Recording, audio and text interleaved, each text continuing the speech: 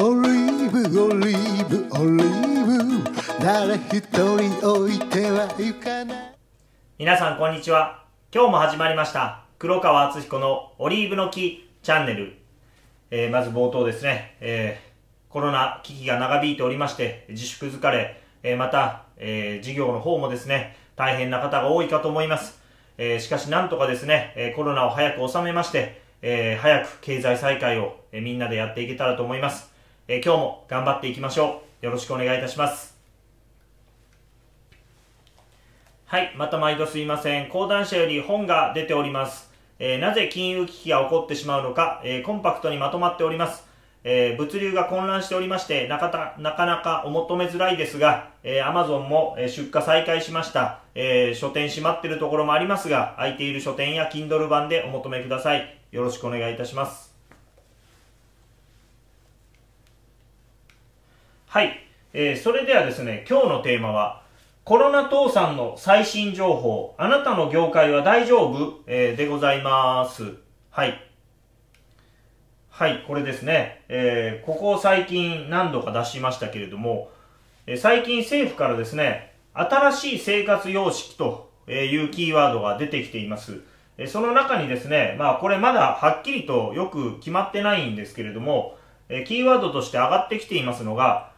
帰省や旅行は控えめに、通販を利用しましょう。食事は横並びで、大人数の会食を避ける。会議はオンラインで、えーこのようなことが書かれています。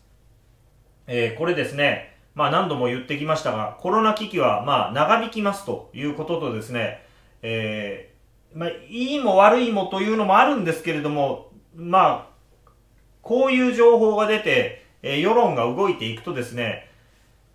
まあ、現実的にこういうことがしばらくは続くということでですね、えーそれに対処していかないといけないということかと思います。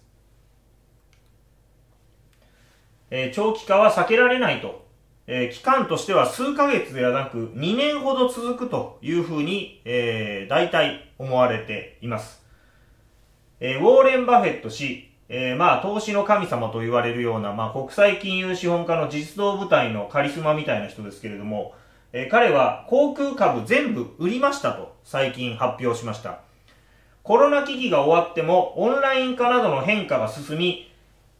航空客の数は戻らないだろうと、えー彼も言っています。え僕もそう思います。えつまり、長期化は避けられないということとですね、えーこれによって経済構造はですね、えー全部じゃないんですけれども、やっぱり変わるということなんです。えーそうすればですね、え場合によっては売り上げ上がってる企業もあると。え例えば、オンライン会議システムとかそういう買い物を売ってる会社はですね、え今業績や株価が伸びています。え売上が伸びる企業もあれば、え残念ながら落ちてしまう企業もあると。え業界によってもだいぶ違うということなんですね。えー今日いろんな業界のですね、えー動向をご説明していきたいんですけれども、えーまず例えばですね、えー不動産業界ということなんですけれども、えー賃料に関して、えーこれ特にですね、ショッピングモール系ですね、えー4月2日、イオンがテナントの賃料減額を発表。えー13日、伊東洋華堂が3月分の賃料減免を表明。えーまあ、ごく最近、アトレ、賃料の見直しを検討中ということですね。えーこれ他のですね、ショッピングモールとか、えーテナント不動産ディベロッパーもですね、えー大手は、えまあやっぱり社会的責任 CSR みたいなことがありますので、えまあこう追従していく可能性が高いという状況になっています。えしかし、テナントを貸してる方から見るとですね、まあ、一回テナントが抜けると、えー次のテナントが見つかるまで時間がかかると。えーその間賃料はゼロになるということでですね、えーまあ、新たにテナントを探すのは困難だと、えーテナントからの賃料減免に応じざるを得ない面があります。えーそれでもですね、やっぱり、えー賃料減額応じられないというような、えーまあ、姿勢のディベロッパーや、えー大家もたくさんいるようで、えーしょうがない、じゃあ廃業しましょう、えー事業をやめてしましょう、撤退しましょうというような話が、えーもはや現実になっています。えーしかし、えー賃料を減額すればですね、えー貸してる方も経営が悪化するということでですね、えー、まあ、確かに貸してる方も、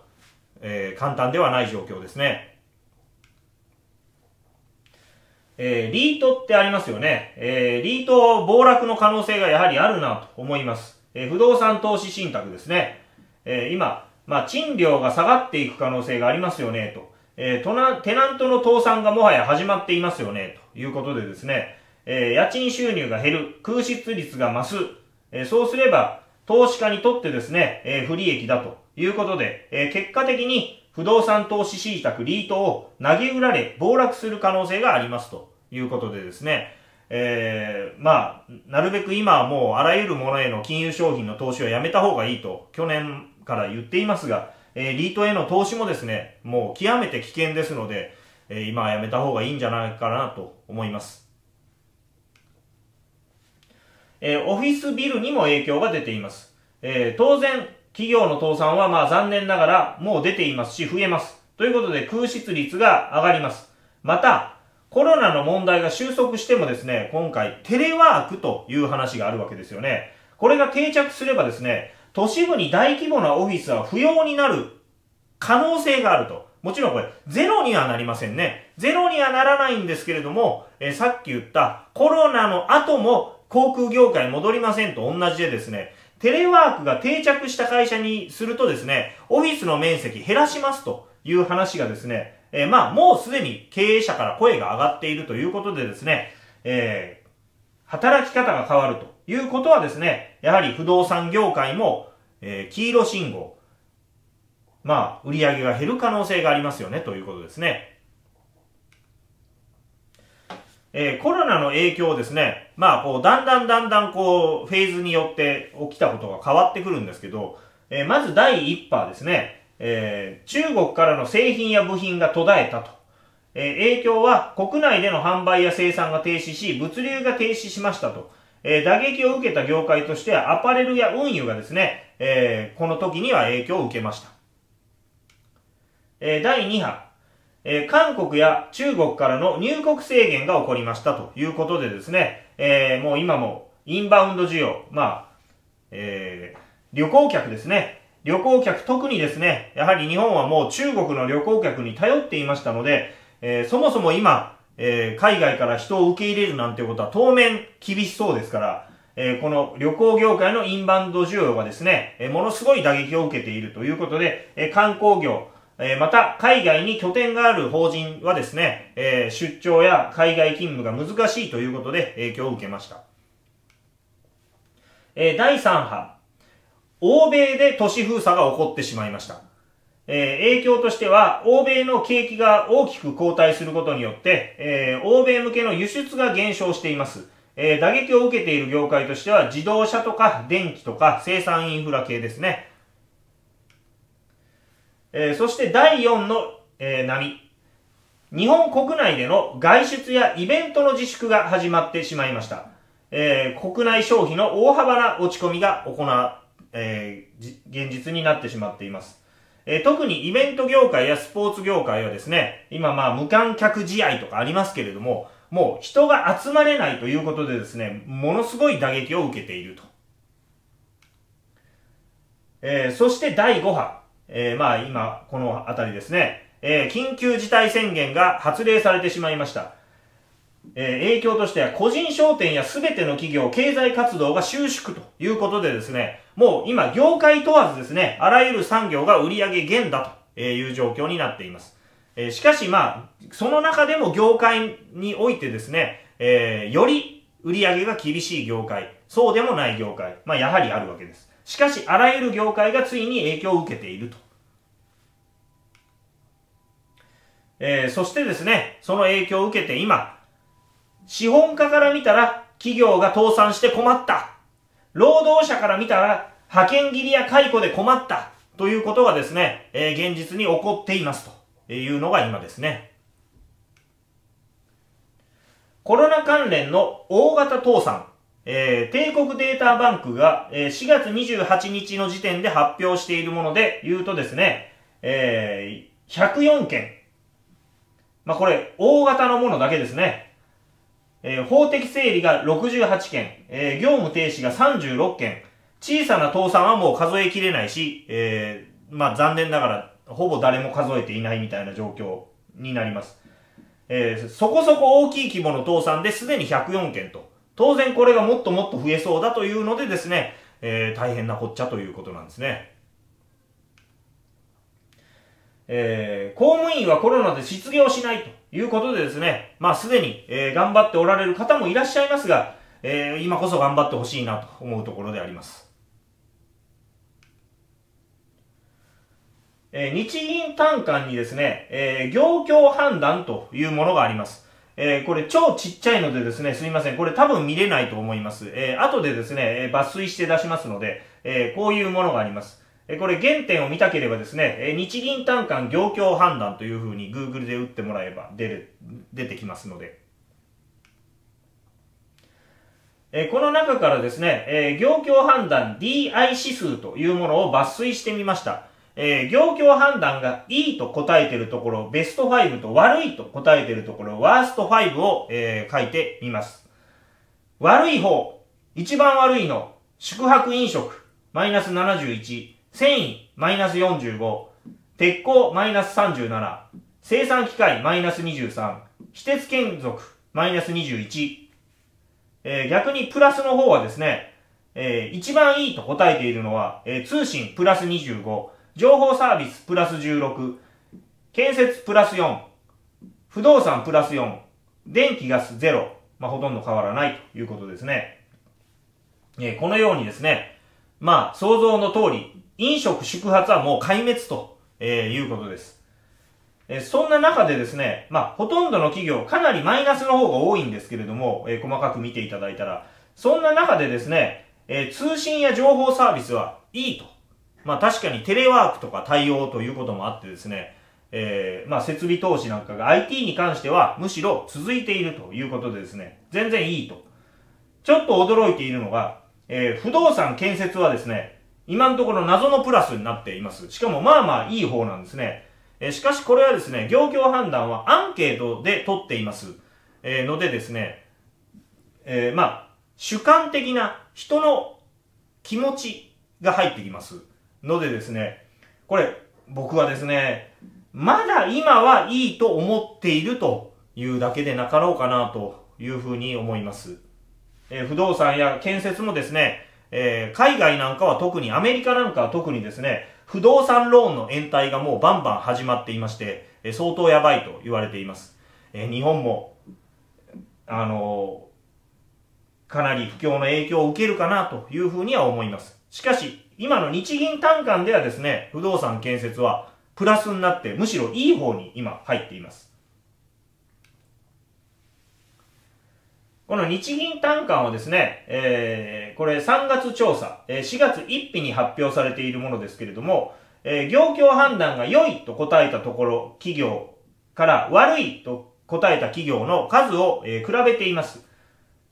えー、先行き楽観的な業界は今のところ建設通信情報サービス電気ガスということです。えー、その他の業界はかなり厳しい状態で特に宿泊飲食サービスがとにかく厳しいというのがですね、えー、この業況判断の、えー、結果です。えー、特に厳しいという中でですね、ホテルについてちょっとご説明をします。えー、大型のホテル倒産がですね、えー、実際に起こっています。えー、例えば、ファーストキャビン社、えー、他、えー、関連会社4社と、えー、ここ負債総額37億円と、え高級カプセルホテルを全国展開し、急成長していましたが、インバウンド需要低下によって資金繰り悪化と、えー、さっき言った中国、韓国からの顧客がもう、まあ今いないわけですから、えー、これで倒産してしまいましたと。えー、WBF ホテルリゾーツ株式会社、え、負債総額160億円。え、こちらもですね、インバウンド需要によって資金繰りの悪化と、全国27施設あって客室は3900を展開していましたと。えー、このホテルの倒産の中でですね、明らかに、え目につくのが、やはりインバウンドがもう来ないことによって倒産してしまいましたというのがですね、えー、もう乱発しております。えー、私どものですね、えー、付き合いがありましたホテルコンサルタントの方にですね、取材をいたしました。えー、匿名で答えてくださったんですけれども、えー、その彼曰くですね、都市部のホテルはもう壊滅的だと。えー、特にインバウンドメインのホテルは、えー、稼働率が2割から3割程度に下落していると。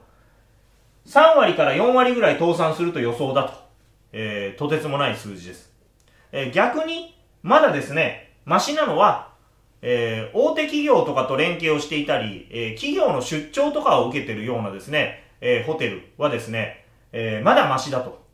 えー、まあ、アパホテルさんとかああいうところもですね、どうもまだマシだというふうに聞こえてきています。今、あの、テレワークとかですね、出勤をできないということがあって、管理職は都心のホテルに泊まりながらですね、出社していたりする人が結構いまして、それをですね、パッケージで販売しているようなところは問題ないと。えー、うちのオリーブのですね、事務長もですね、えー、平日は今、ホテル暮らしをしています。えー、そんな状況なので、えまあ、ビジネスホテルの、え企業とのタイアップが多いようなところはですね、なんとか生き残れているらしいんですが、インバウンドメインのホテルはもう本当に壊滅だと。しかしこれはですね、えー、海外観光客を増やせというですね、国が推進してきたビジネスモデルで、えー、それに乗っかってやってきたので、もう、これは別にこの人たちが悪いということではなくですね、えー、バブルではあったと。バブルではあったけど、ものすごい伸びていたから、まあ、単純に成長していたので、えー、健全なバブルだったと、えいう風な、え分析です。えその反面、今ですね、とにかくラブホテルの稼働がものすごいと。いうことだそうです。え外に出れないから、え、ラブホテルの稼働はすごいということですね。これ、えー、インバウンド、訪日外国人客数、すごいですよね。これ、グラフにするともう、ここ、6、7年ぐらいでバーンと伸びたわけですね。で、この需要に合わせてですね、えー、ホテルをバンバン作ったんですから、これ来なくなったんですよね。今バーンともう激減するわけですよね。多分この辺に比べても減るんじゃないですか。そしたら、この分のホテルを、えー、借金して作ってる人たちは全部倒産するということですよね。えー、急激な需要に対して借金で事業拡大しています。ということで資金繰りが急激に悪化し、自己資本比率が低い企業はもうバッタバッタ倒産しますと、えー、そのような状況になっています。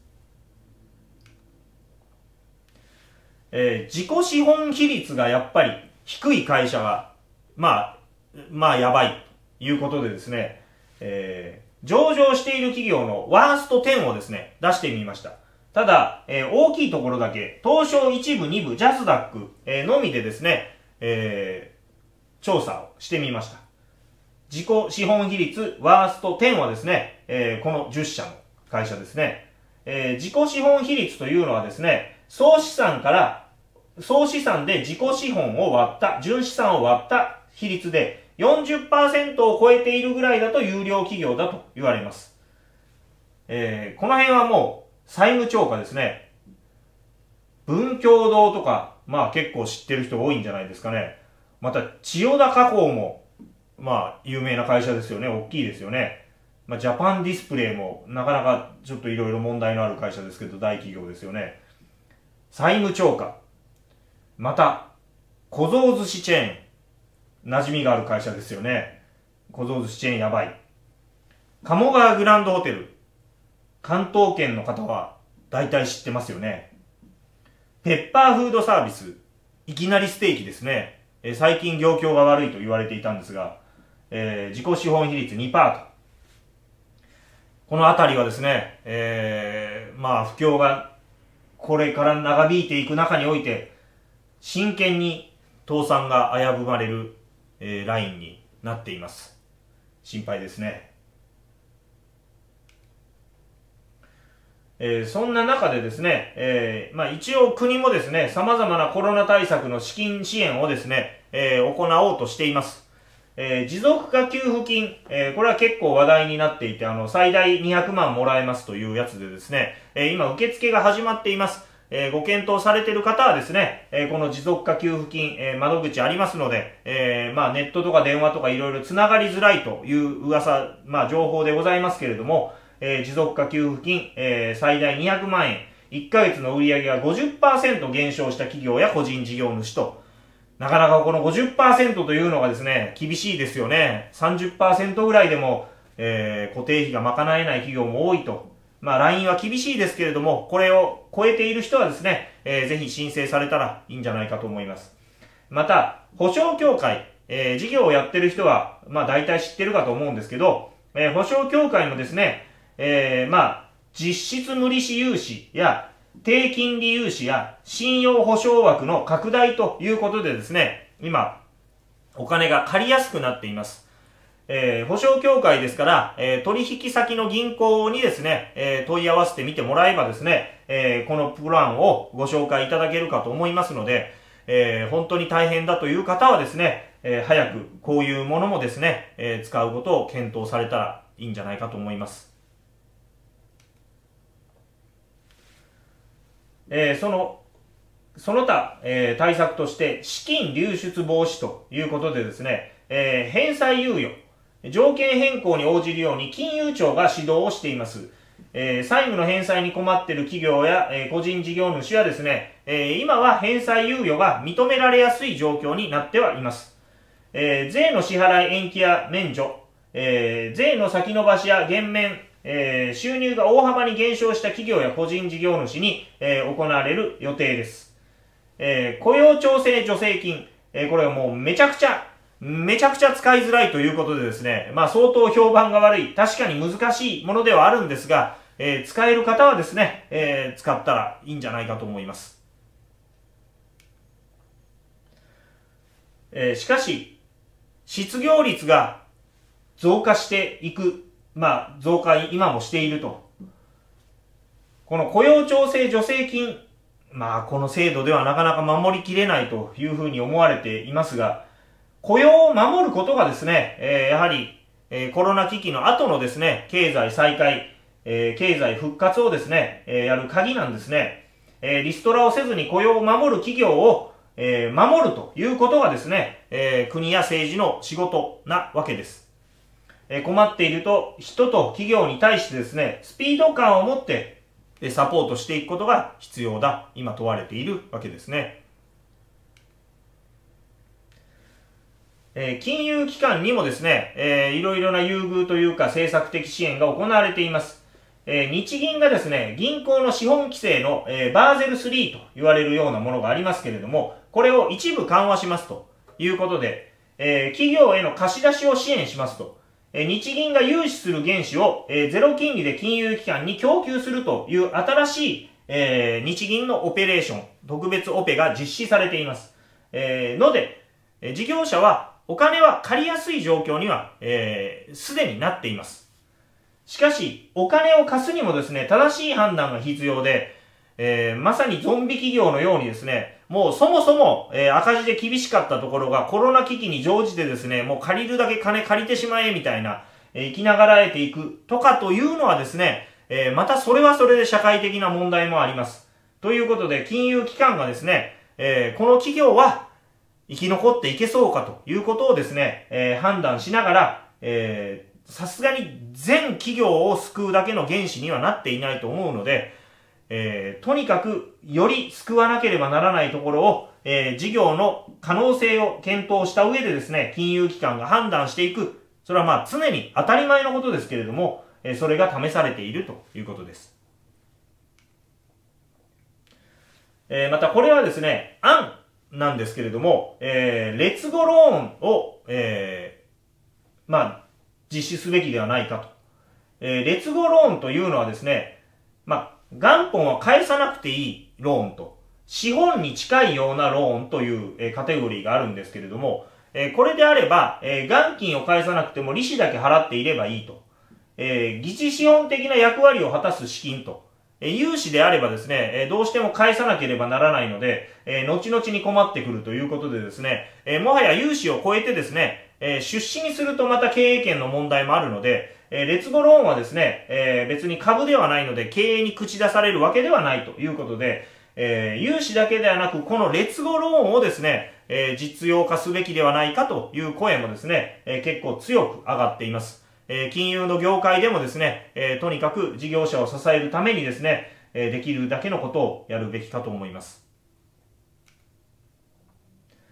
はい。えー、これはまあ過去何回か出しました。えー、コロナ危機は長期化しますと。えー、しかも、終わる前に金融危機に移行するというのがですね、えー、私の主張です。えー、なのでですね、この短期的に1、2年を乗り切ろうということでですね、考えると、えー、その後、まあ、いずれにせよ借金が返せないということになります。えー、とにかく、えー、会社、事業の体質も変えながらですね、本当に長期間において、なんとか生き延びていけるようにですね、えー、今一歩を踏み出さないといけないというふうに思います。えー、この2020年、21年、22年とかと言ってですね、えー、コロナの危機はですね、えー、長期化してきますと。え長期化した上でですね、コロナの危機がまあそろそろ収まるかなというぐらいにですね、え2023年頃、今まあ FRB が量的緩和をですね、無制限にかけているわけです。えこれによって世界経済がなんとか支えられているわけですが、えこれが限界を迎えまして、えそれによって本格的な金融危機が始まります。え、そして最終的にはですね、え、ドルがハイパーインフレするというふうに、もはや、え、それしか道がない状況になっています。え、しかし、ドルは巨大なものなので、すぐに倒れません。え、ということで、まあ、今から考えるとですね、5から7年後ということでですね、まあ、結構先の話ではあるんですけれども、しかし、たった5から7年後にですね、え、もはやとてつもない金融危機が来るということで、え、コロナ危機だけではなくてですね、え、それらも考えて、え、事業の方向性、え、修正、転換をですね、え、今すべきだというふうに思います。え、私たちはですね、え、政治を変えて、え、この危機を乗り切りたいと言っているわけですけれども、えー、まあもう、しつこく言っていますが、累進式の金融資産課税を財源として、えー、ベーシックインカムで財政出動するしかないと、えー、思っています。え、なぜかというと、補助金や融資でですね、企業を救うとなるとですね、まあ今までも起こってきたんですが、政府や金融機関によるしがらみによってですね、えー、なんだか政治家の誰々さんのお友達だから融資借りれました、補助金取れました、みたいなことがですね、まあ今までもずっとあるんですけれども、それをやっているとですね、えー、どんどん資本市場が腐っていきます。今までも腐ってきました。そうではなくですね、ベーシックインカム、今回の10万円給付みたいなもんですよね。個人に直接お金を給付しましょう。そうすると、個人が使いますということはですね、えー、いいものを売っている企業は生き残るということなんです。えー、しかし、今回の場合はですね、えー、休業要請がですね、どうしても特殊に長引く業種があるかと思います。あります。そこだけはですね、えー、政府が個別に、えー、フォローをすべきだとは思います。が、一般的な企業に関してはですね、えー、企業を補助金で救うのではなくて、えー、ベーシックインカムで個人にお金を渡すべきだと思います。金融資産課税を導入すればですね、えー、全国民にあと30万円ぐらいの給付は全然不可能ではありません。まあ今10万円配られましたよね。えー、これもしあと30万円ぐらい配ればですね、えー、完全に不況を賄えるわけではありませんが、えー、かなりの部分はですね、えー、不況を緩和することができるかと思います。そうすればですね、本当に必要なものを売っている会社のところにはですね、売り上げが回ってきます。金融資産課税を導入すればですね、年間20兆円ぐらいの新しい財源が日本の場合生み出すのはそう難しいことではないんですね。えー、日本はものすごい金融資産を持っている国ですから。ということはですね、毎年20兆円の財源が生まれるんだったら、えー、あと30万円国民に配るとですね、まあ、大体36兆円ぐらいかかるわけですけれども、えー、36兆円はですね、まあ2年間で返せるということで、まあそんなに問題ないですよね。えー、まあ他にも財源使うとしてもですね、えー、5年ぐらいで返していくと思えば、全然30万円配っても問題ない。えー、なんなら50万円ぐらい配れるかもしれませんよね。えー、ただまあお金を持っている人に配りすぎてもまあ貯金に回るだけだとか、まあいろいろ問題はありますので、え、それは考えないといけないとしてもですね、え、こういうことが金融資産課税を、え、やればできるということなんです。えまた、10万円給付するということをですね、国はやったわけですから、これある意味ではベーシックインカムの一歩を踏み出しているということでですね、これどうですかね毎年10万円ぐらいせめて配った方がいいかなと思うんですね。それは、まあ、毎年12兆円財源があればできるわけですよね。えー、金融資産課税、毎年20兆円、全然できますよね。えー、そういうことをですね、我々はやれば、えー、景気が回っていくと訴えております。えー、そして、えー、経済政策の中で金融制度、中央銀行制度の抜本的見直しが必要だと、えー、それができればですね、え、経済を大きく転換すると訴えています。え、デリバティブシャドーバンキングの原則禁止、え、デジタル政府通貨の発行、金利を上げていかないといけないですよと。え、全国民に投資する権利を配るベーシックキャピタルの実施、え、もちろん消費税はゼロにします。えー、法人税と所得税の累進課税率の見直し、1.7倍も高い公務員給与を民間平均に戻す、えー、MMT や金融緩和かつ財政ファイナンスなのでダメですよ。えー、対米自立かつ反グローバリズムが大事だと、えー、そのようなことを訴えております。えー、今日も最後までご視聴いただきありがとうございました。えー、チャンネル登録がまだの方はぜひチャンネル登録お願いいたします。えー、いいねボタンも押していただいたら動画がたくさん拡散されて嬉しいです。講談社より本が出ております。なぜ金融危機が起こってしまうのかコンパクトにまとまっています。えー、この辺で言ったこともですね、えー、盛り込まれていますので、ぜひお読みください。よろしくお願いいたします。えー、オリーブの木、朝霞市議会議員の富山真紀議員の富山木チャンネル、一期生の一期生チャンネルも立ち上がっております。コメント欄、概要欄の一番上に URL が貼っていますので、そちらをクリックしてチャンネル登録、応援してやってください。よろしくお願いいたします。今日もありがとうございました。なんだってできるのさ。ピープルパワーで、黒川敦彦でございました。オリーブ誰一人置いてはいかない。明るい未来を作りましょう。一緒にやっていきましょう。